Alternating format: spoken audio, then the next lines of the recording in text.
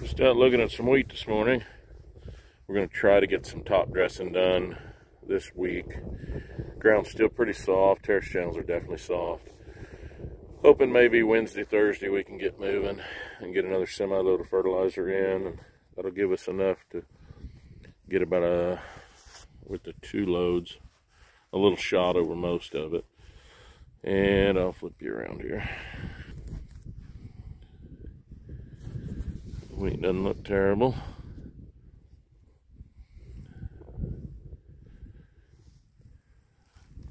We're plenty early on the fertilizer, I think, but the way our windows have been, we're kind of a little bit nervous about getting some on.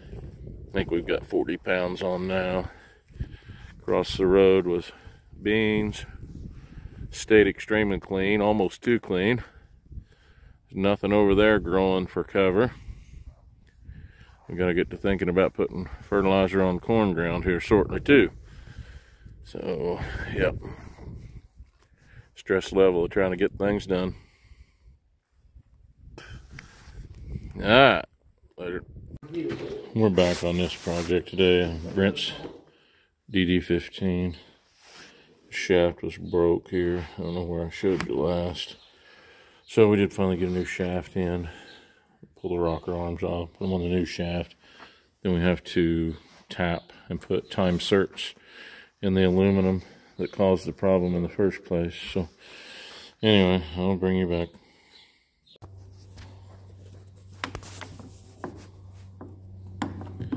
Well, we're just getting the rocker arms put back on the new shaft. Oh, yeah, you just gotta take your time. Get straight, yep. I could hold the phone, hold the shaft up at the same time.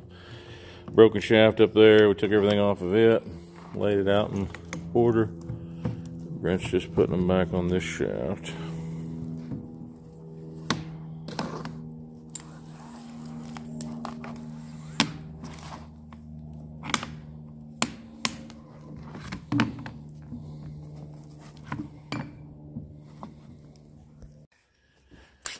All right, what we got going is we're drilling these out. This is what's stripped.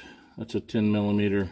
It's bigger than that at the top, but 10 millimeter thread down in there. And they use um, Helicoil's factory. Anyway, it pulled one. I'm sorry, that's one, two, three, four, five, and six. The threads pulled on those three. So anyway, brought a bought a kit for a Time-Sert. And we're not going to use these. These are short ones. And this is my left-handed drill I had to drill out the old helicoils. But anyway, they send a uh, uh, install, installation tool. I'll get it out here in a minute, which is there. Then they send us a tap. And I'll get a, or a Time-Sert here out of my pocket that we're going to use. They're an inch long. It's M10 on the inside. I think like 14 on the outside. So we've got one drilled and tapped, trying to keep the shavings out the best we can. Brent made an adapter for his vacuum to get down in the hole.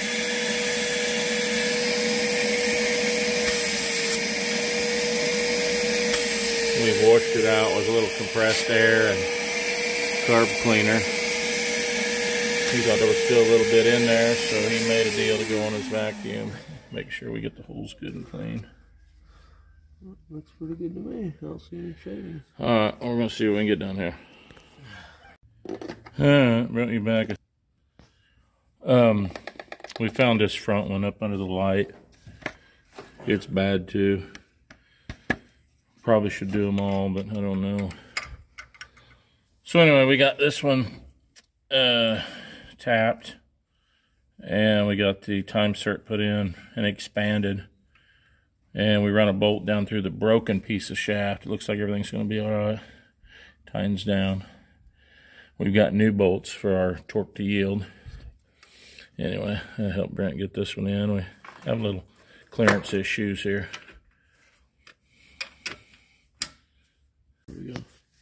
You'll know when it hits the bottom.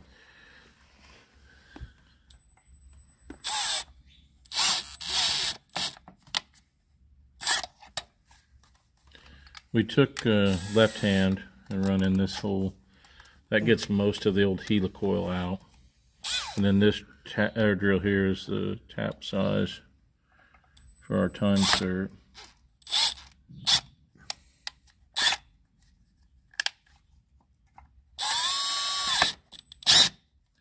You're gonna have to check it on that square, bro. Thought I was. Brent's being a little too careful here, I think. What backing out? I think that might be my problem.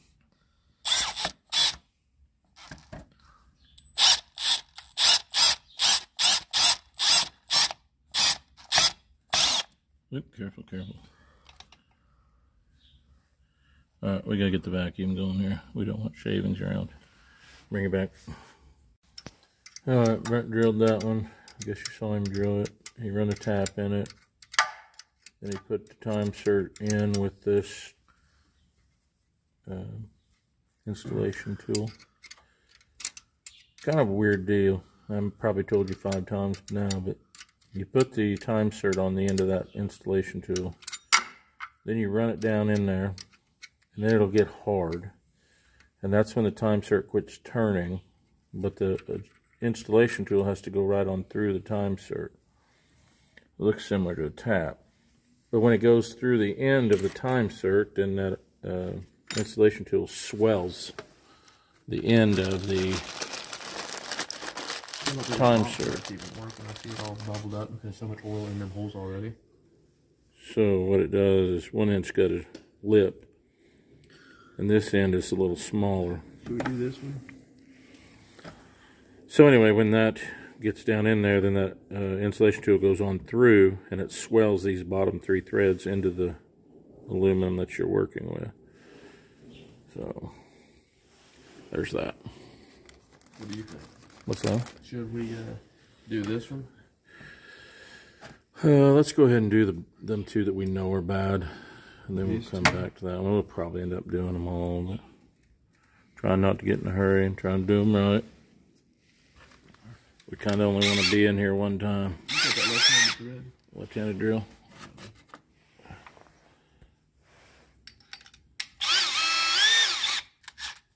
So we're running the left-handed drill through just to clean up the helicoil that's already there. And I don't know, Brent's video on too, so I don't know how much I've told, retold. That bit's small enough it goes inside the insert. Enough oil, I don't think our Loctite's gonna work. But we try. Well, we shouldn't need Loctite. Time-Sert should should uh, seat itself. We just put a little red Loctite on it just because we're farmers, not mechanics. That's the drill for the. Don't push it, Brent. You want it to turn.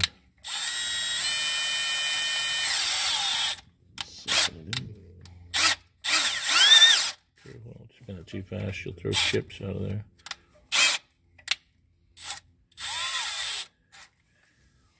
Hard with this angle.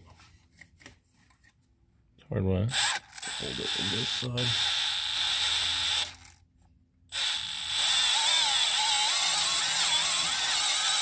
We still got helicoil part of them. Don't wall the hole. Be very careful getting them out of there. So, so careful. So we got the shavings out as best we could on the drill, and then we're cleaning all this up. Blowing carb cleaner and compressed air in the hole. Then we will tap it. Should have probably went ahead and did that next one back, Brent, with your left when you had it in there. Mm-hmm. All right, guys. I'm probably boring you to death.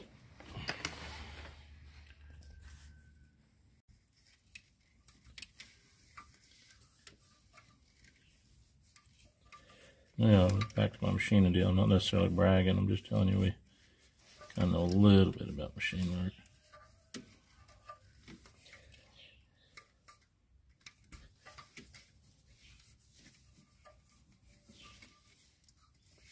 How many turn do you think that was?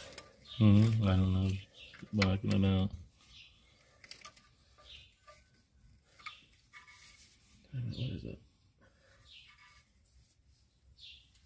An old broken one off of uh, one of those EGR stuff. hose clamp lying up there. Huh, Find something every time. Alright, he's gonna finish tapping that one. And we will put a Time-Sert in it and carry on. You there? Think you're there? Let's see. Two. We'll count them. Three, four, five, six, seven, eight. Eight. About the same. We've been running the others down. Right Alright. it? Shaft is rolled up to line the holes up, but we also got springs that go under here. Under the Jake. Yeah, so we got to get the springs under there. There's seven of them. Once we get the springs under there, then we have to uh, we'll have to set the jakes and the valves and all that because we got to back them all out. So we start the bolts down in the top of the exhaust shaft. It doesn't try to pull the threads, so we're gonna back all the valves off on the exhaust side, so they're free to play. Suck the shaft down, torque it to spec, and then we'll run the valves down and get the the valve clearance set and roll the engine over and Brenner, you got that that new nut for that one valve? don't- it's okay. laying up there. Alright. So what was I getting down to get? Oh, the spring. Yeah. So anyway, as Brent was saying, we got to put springs in the Jakes. Hope we can get them in there now. We got to pull that back out. It's kind of a bear to get that down in there.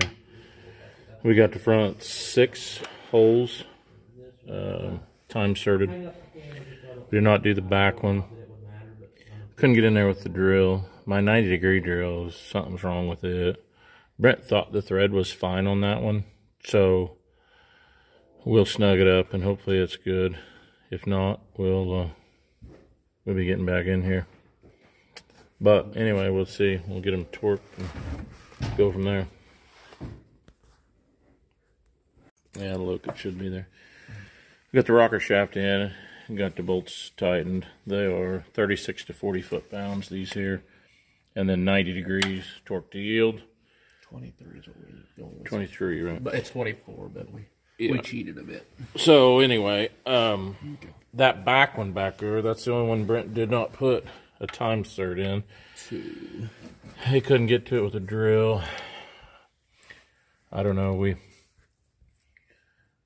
clicked at 36 on our torque wrench, and then he went. You're supposed to go 90. He went, you know, about 45. Felt like it might be getting a little bit spongy, so we quit there. I don't know. We're a little concerned about it. We did Loctite it before we put it in. All the rest of them are beautiful. So anyway, we're setting overhead now. We'll get them set and like, see see how things go here. I feel like a dentist here, but you're a dirt poor farmer. What about it? You're a dirt poor farmer. I'm a dirt floor farmer. Working in a dirt floor. Yeah. All right, we're gonna get these set. And Brent will have to button up the new valve cover gasket and the stuff he took off. We're getting closer. I don't know. That back was both got us a little pissed, but uh, kind of our own fault, I guess. Huh? So run till she don't. Yeah, it's tight. We just felt like the it was getting just a hair spongy when we quit, where the rest of them weren't. So, all right, I better get up here and help him. All right, Brent's barring the engine over. We got one more Jake set, number four. If I get up there. We're setting them in firing order, of course. So when four comes up, when the intake side of four is top dead center on the cam, that's when you set your Jake brake. I had my dial indicator on them. I don't think it's that critical. Exhaust is coming up on four. We want the intake at top dead center.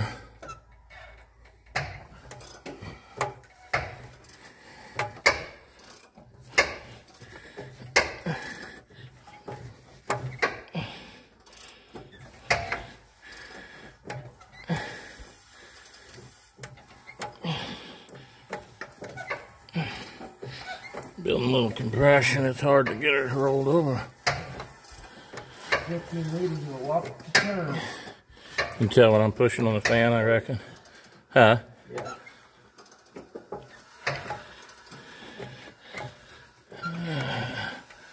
A little more, Brent. We're not hitting yet.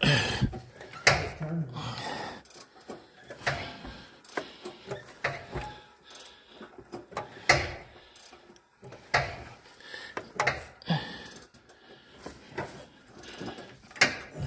Sorry about the movement. I'm trying to roll the fan with Brent at the same time. Seems like it takes forever to get that damn thing around there. Okay, we're moving, Brent.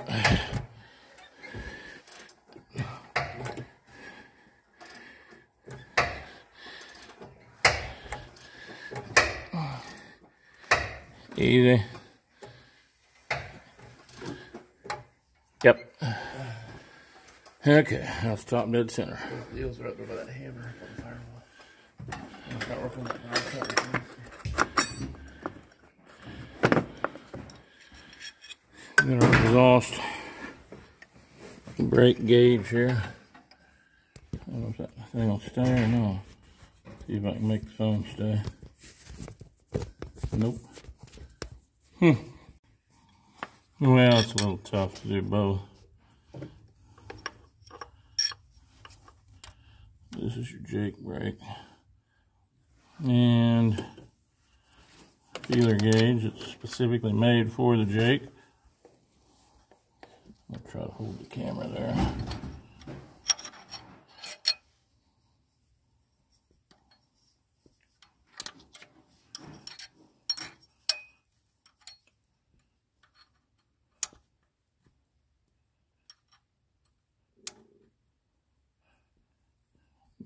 You like it.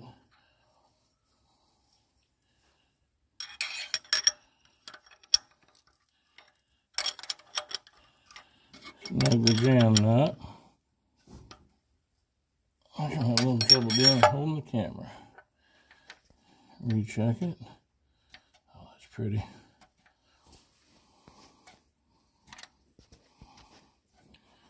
Alright, that's the last one.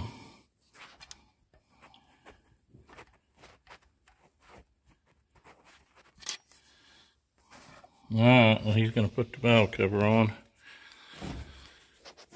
put the intake and stuff back on it, and I think it'll be ready to fire. Yeah, your light's in the way there, Brent. He got the valve cover set up there, new gasket. Had to figure out where all of his studs went versus his open holes. So he'll get that bolted on.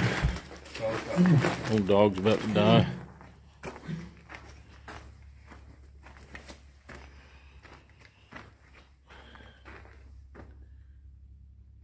So yeah, get that bolted on and he's got an air cleaner, a few odds and ends, brackets and stuff. Don't forget that blow by tube. I don't know when that needed to go on, bro. We took off. Alright, well, it's after five o'clock. I'm probably gonna give it a break and let him finish this up. Later. Brent's got it all back together. We're gonna roll it a few times and not let it start is the plan has not been started since we tore it apart.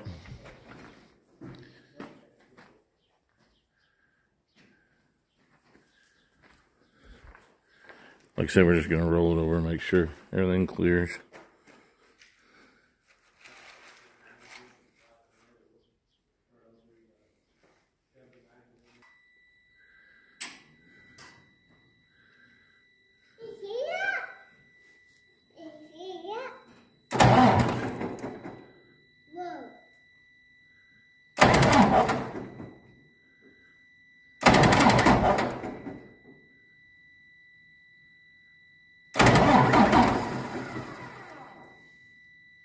Sounds all right.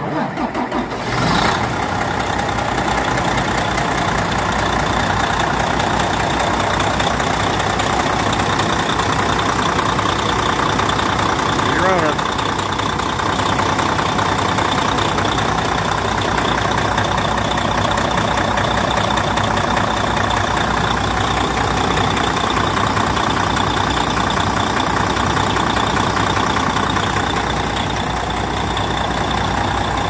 Well, I'll probably end her there. I don't I don't hear any knocking.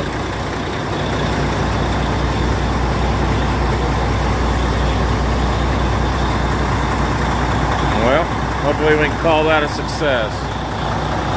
I'll probably throw this on, guys. Talk to you later.